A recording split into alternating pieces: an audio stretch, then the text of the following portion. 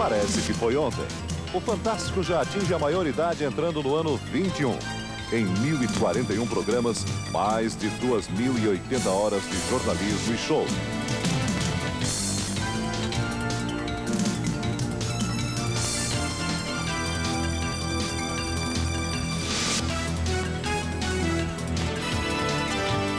Em duas décadas, ele se transformou junto com o Brasil e o mundo, sempre liderando as noites de domingo. Mas, convenhamos, 20 anos, muito ainda por viver.